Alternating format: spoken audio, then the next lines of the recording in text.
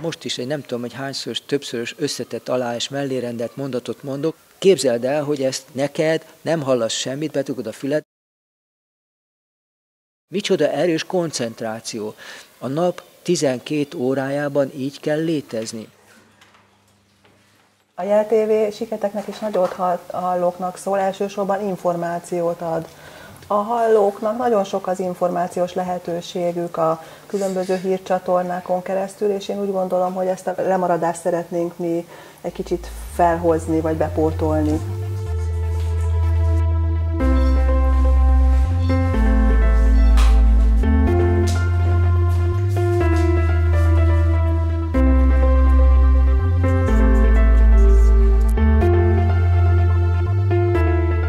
Elkezdtük a Nonprofit Média Központ alapítványt csinálni, hogy a civil szervezetek, akik bármilyen témával foglalkoznak, képesek legyenek maguk értékeit megjelenteni a társadalmi közbeszédben.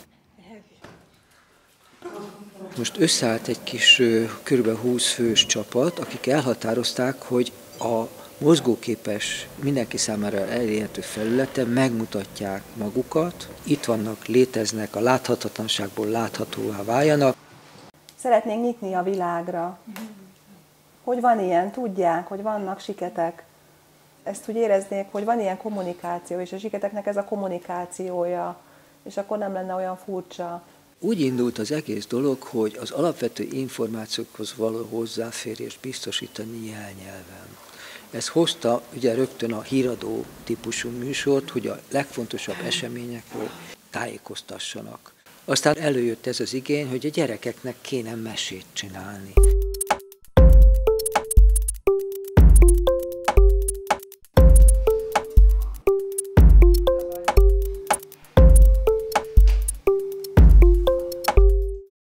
Nagyon divatosak az ilyen főzőcske műsorok a különféle tévécsatornákban. Nosza rajta elindult a JLTV konyha.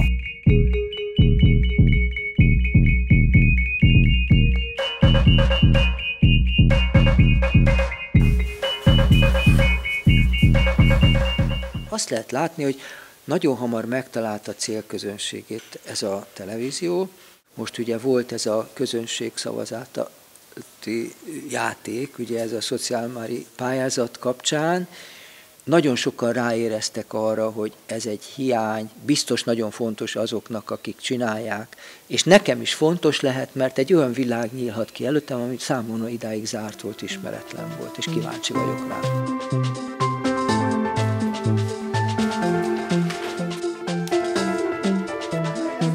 A szakmám könyvkötő, de sajnos nincs ilyen munka, ezért McDonald'sban dolgozom, közben a JLTV-ben is dolgozok, nagyon jól érzem magam ebben a csapatban.